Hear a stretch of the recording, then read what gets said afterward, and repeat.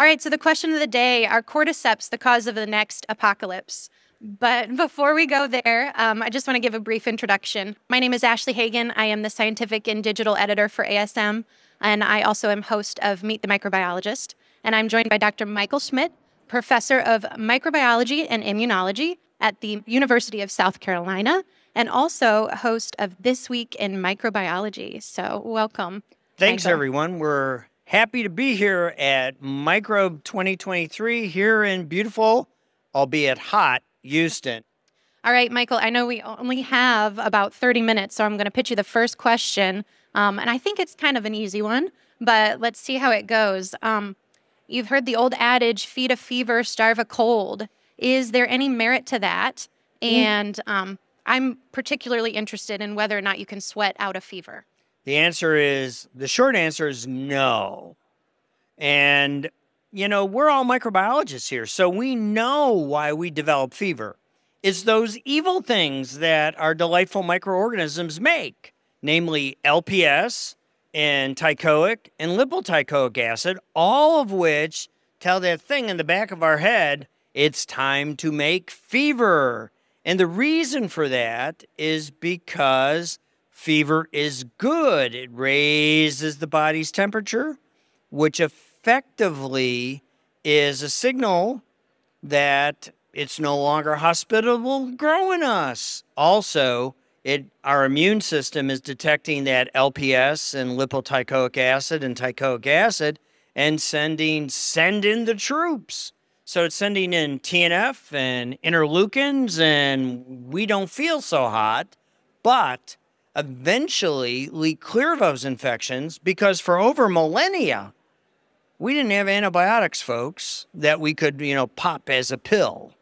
You know, we had to rely on ourselves. So, if that adage is not correct, what would be the best course of action to bring your fever down?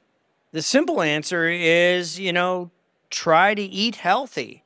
You know, your body is what you put into it. And if you eat healthy, it will effectively supplement your immune system. You know, diet strong in antioxidants, all those green leafy vegetables we didn't like to eat as children, all of those things will help our immune system fight the microbes that come in. And recall that most of our microbes are friends and not enemies. It's really the ones that try to invade that really cause us grief.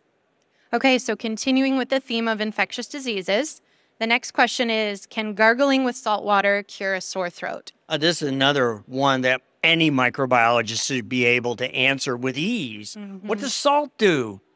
It's hypertonic.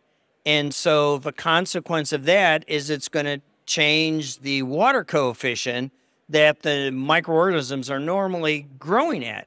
And of course, anyone who has worked in basic microbiology knows about the wonder petri plate, mannitol salt agar. We have high concentrations of salt to recruit staphylococci, and that inhibits all other bacteria. So, what we're effectively doing is um, changing the micro niche in our throat by gargling, and the net consequence is you're changing things up. Also, in order to get that salt into solution, we had to use warm water, and that's effectively going to be a vasodilator, which will do what?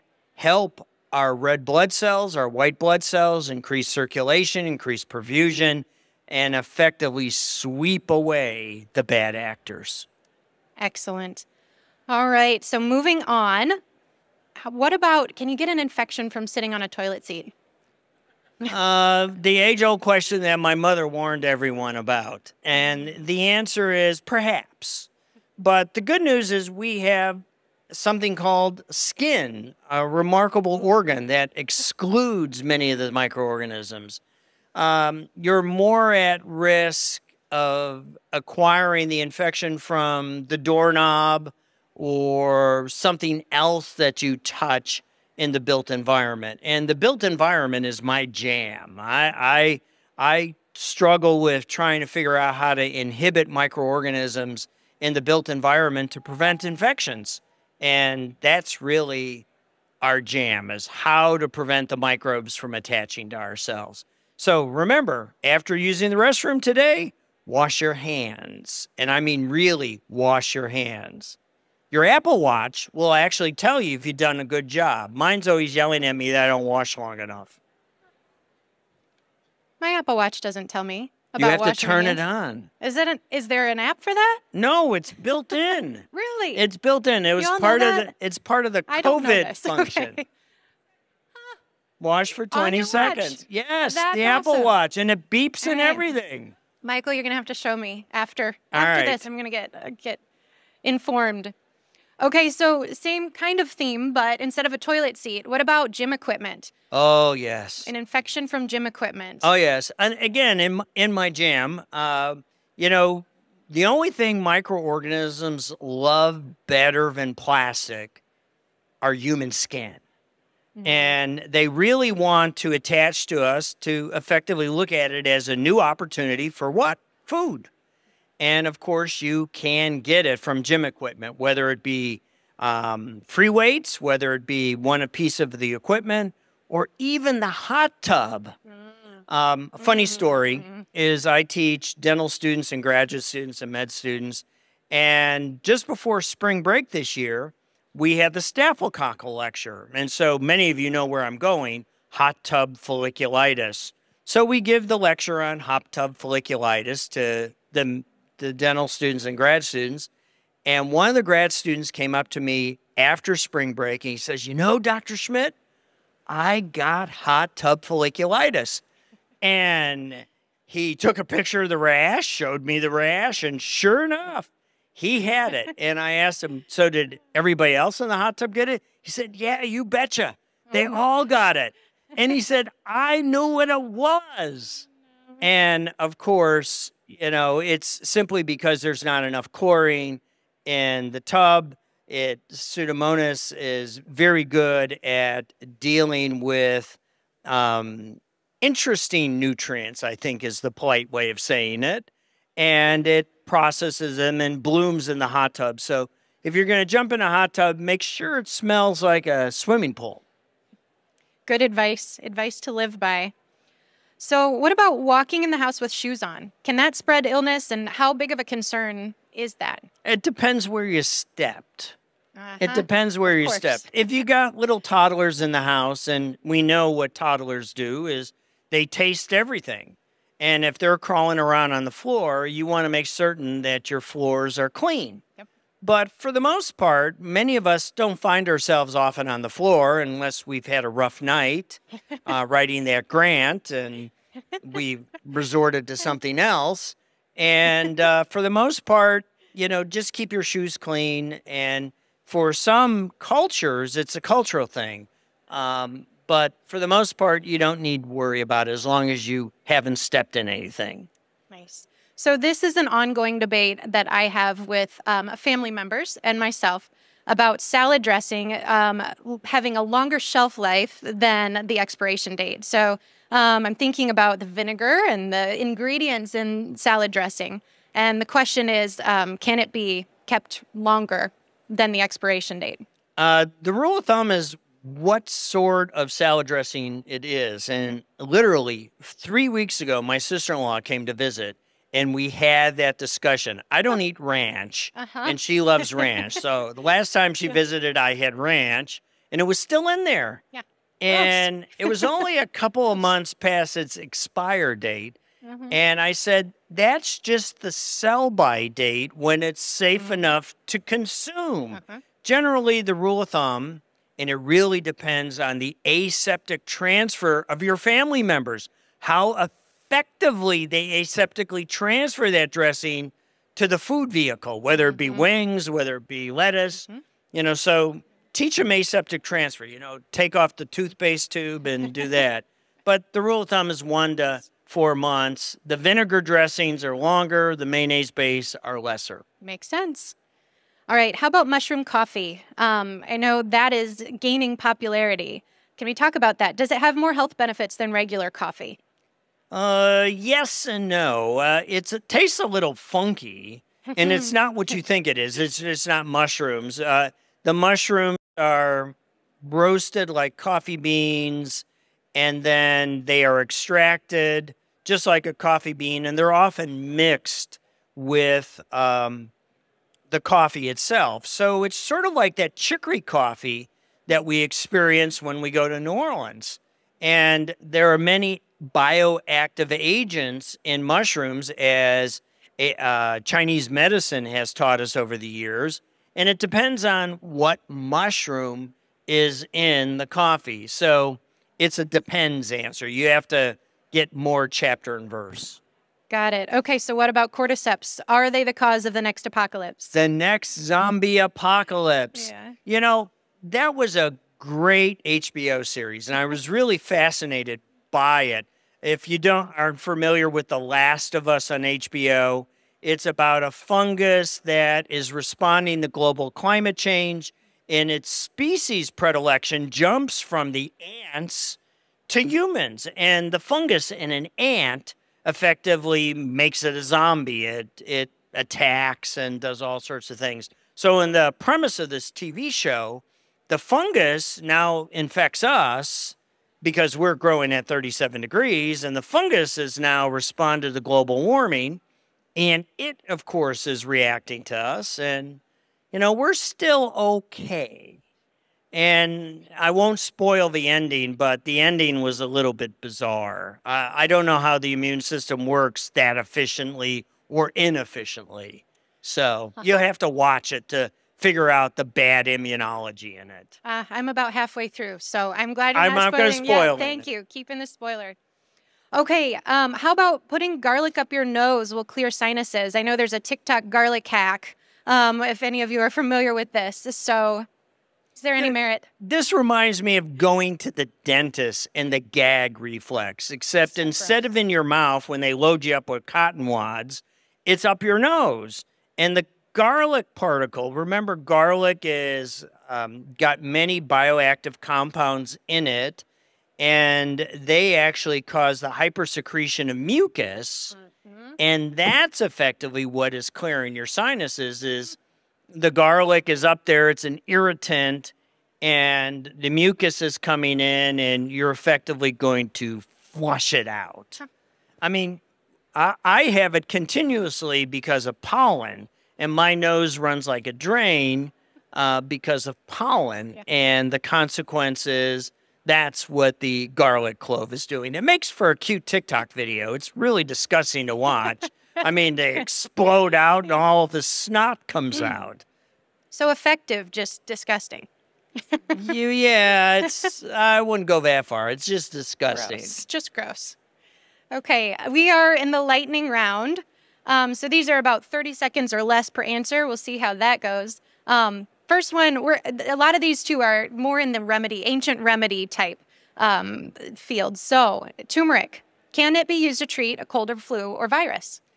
Turmeric is a natural antioxidant, so the answer is good. It stimulates our immune system, supplements it. So turmeric is indeed one of those natural remedies with real data. Real data. How about honey um, on wounds? Can it help wounds heal faster? It depends on the honey. There's medical grade honey that actually has been harvested from appropriate medicinal fields that then have the active substances in it that will do the trick. And the other thing that honey does is it ties up all the water. So when you place it on a wound, it becomes very hygroscopic and it's effectively dewatering the wound. And of course, remember, all bacteria need water. And that's effectively what it's doing. It's it's a combination of the both. So that brings me, it's a bit of a tangent. So I'm breaking our 30 second, our Okay. 30 second rule. But I remember we talked a little bit about this last year. Um, and so for those of you who didn't hear Microbial Myths 3, is covering a wound, um, is that an effective way for healing? Because it's going to keep it moist. Or um, do you recommend letting it dry out and scab over? It it depends on the stage of the wound. Okay. And this is sort of getting out of my lane, so to speak. This is in wound healing, and there's a whole A whole specialty, specialty. of wound healings. I've been working with a burn surgeon, so I've been sort of dropped into the deep end of the pool about the complexity of wound healing and scarring. And ideally, what you want to do is you want to minimize scar tissue development. Mm. And so that's what it's all about. Okay. How about people with measles should be kept in a dark room during the acute illness to prevent blindness? People with measles should make certain that everyone around them has been vaccinated. That's the first rule. The second thing is measles is highly infectious. It's an airborne agent. It will come out and get us. Remember, measles has an R naught, or if I have measles, approximately between 12 and 18 of you will come down with it if you haven't been vaccinated. And the where's Vince Racaniello when I need him? The um, the virus itself causes these other symptoms, and light sensitivity happens to be one of them. So what you're doing by put, placing them in a dark room, you're effectively offering an analgesic, so to speak, Ah. so that they're not aggravated by the light. Okay. So treating symptoms. You're treating case. symptoms, Got it. not the disease. Got it. Okay. How about rubbing Wray and Nephew, which is a type of rum, on your chest will ease congestion? In South Carolina, we refer to that as moonshine. So we're talking 120 to 180 proof alcohol. So, what do you all think alcohol does at that proof? It effectively evaporates, and as it evaporates, it, it effectively is increasing circulation, mm. which will help clear the congestion. Also, your immune system comes in with those evil things, the white blood cells, that will effectively dispatch whether it be bacterial mucus causing things or the evil viruses. Right. Okay, here's another one that I think is kind of gross. Uh, but sleeping with onions in your socks will This- cure a cold. Uh, no. Th- this is another disgusting one. This is the so 30 gross. second. It's so It's gross. disgusting. Uh, I think it's again another irritant. Yeah. That has no effect. As no. Okay. How about um, applying honey to a bee sting or vinegar for a wasp sting? I've, these are different myths that I found. So, And again, we have to ask what's happening. What you're doing is you're trying to address the issue of the venom. And Ah, honey, right. if it's medical grade honey, Yep. has the, the right stuff in it to be anti inflammatory and address it that way. In the case of vinegar, it's pH. Ah. The pH is going to effectively interact with the venom if it's in that local area and hasn't moved away and, ina- and inactivate it. And we all know the solution to pollution is dilution. And so that's effectively what the uh, vinegar is doing for us in that instance. so if we're talking about pH, then I um, walked into a yellow jacket's nest a few years back, and um, someone told me to pour bleach on the stings. Uh, is that is there any merit to that? Uh, I was very hesitant, by neat- the way. Neat bleach, neat bleach is, Neat a- bleach. you know, if you buy bleach at the grocery store, it's about six and a half percent sodium hypochlorite, and just for, you know, fun, just pour it on your finger one time and watch your skin blanch, literally blanch. Yes. Well, straight up bleach is not good. It's damaging to the Mm-hmm. skin. It's dehydrative. It's really bad, and so, no, So no. no, so it's a good thing I pushed back on that. push back on that. Great. Okay, how about dandelion milk can cure warts? Um, stick with the acyclovir. Stick with the a, you know, a, it's you know, it's HPV. It's human papillomavirus, not the one we get. We have a great vaccine for that prevents uh, cervical cancer, but I think what the dandelion uh, sap is doing is it's serving as an irritant Ah, and the irritant is effectively just recruiting our immune system to effectively treat it. Remember, the skin is way up on top, and normally you don't have too many white blood cells coming in to trim things up. And so it's serving as an irritant, that milk sap from the dandelion. that makes sense. Okay, how about applying fingernail polish to ringworm suffocates the fungus? uh, it'll just keep it there uh, from prevent it from moving. Remember, you know, ringworm is nothing more than a dermatophyte fungus, and fungi can do all sorts of remarkable things. So the get yourself an over-the-counter antifungal cream that you can buy at any of your favorite drugstores, and that's better to deal with it. The other thing you may want to pick up next time you're at Walmart is one of those ultraviolet flashlights like they use at bars to see if your ID is legit. And you can actually shine it on your head, akin if you don't have a Wood's lamp handy, which is the code for black light from, and now I'm dating myself because black light was popular during the disco era. And so you can actually see where the ringworm is growing on your head. It's it's a God-fearing fungus. It's disturbing. Yes. Yeah. Okay, and number 20, a poultice made from instant coffee and water applied to a cold sore many times, so this is complicated remedy, remedy through will kill the wart or kill the herpes virus, I'm sorry, and prevent cold sores in the future. Again, stick with the acyclovir ointments that are out there they're easy to uh, find. Your physician immediately sees it. He'll immediately know what it is. And don't stay away from the voodoo. Go with the great antiviral. Remember, these antivirals are typically nucleoside analogs that have been adapted specifically for the life cycle of the virus. And again, where's Vince Racaniello when I need him? He's on an airplane coming for TWIV and TWIM. All right. Well, that was 20 questions in about 22 minutes. So thank you much. Well, Mike, let's take some questions the from the yeah, audience. Exactly. If anyone has any myths they would like to address, let us know. How about the being in cold weather makes you ill? Well, this is a microbiology meeting. You should know the answer to that. And the answer is no. Bacterial viruses, fungi are what causes us to become ill. It, it's the only thing that, you know, standing out in the rain in a cold rain does is it, you know, attacks your immune system as you're beginning to to try to address it. So it's immune stress that is likely doing you in. And we know that stress is really not good for us.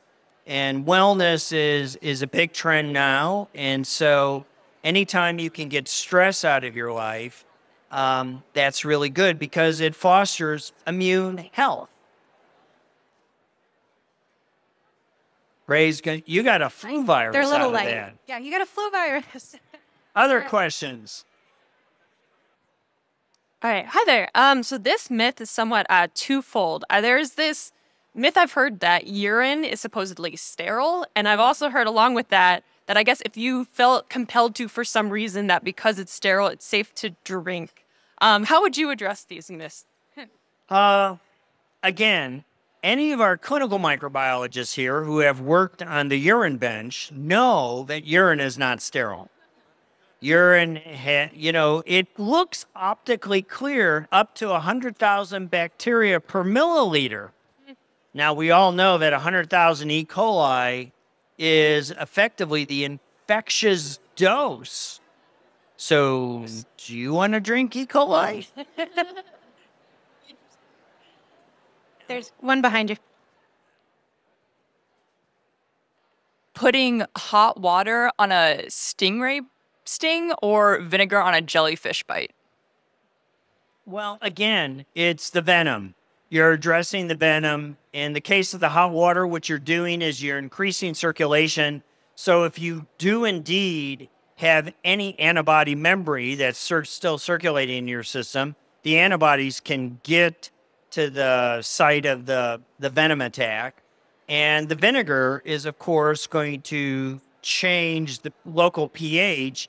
And if the venom hasn't been delivered to your circulatory system, it's effectively going to change its pH, coagulate it, change its structure to effectively lessen its activity. Thank you. One more question. Oh, oh I see like three or four. Oh. Thoughts on an apple day keeps the doctors away? Fiber is good. And it, it really helps the transit of the microbes through your colon. It's chock a block full of vitamins and nutrients, but in reality, it's the fiber. And that fiber actually helps the microbiome in the transverse colon keep the evil Clostridia from effectively making carcinogenic compounds across the transverse colon that are bad. And, you know, that's effectively when they stick that delightful hose up your butt once you turn 45, when you go in for your colonoscopy. That's what they're looking for, is those polyps and precancerous and even cancerous lesions because you didn't eat an apple a day. All right. Well, I want to thank you all for being here today. And Michael, thank you so much for these wonderful and insightful answers and helping us debunk some of these myths. Um, I hope you all have a great rest of your meeting, um, and we'll see you around. Thank you. Thanks, everyone.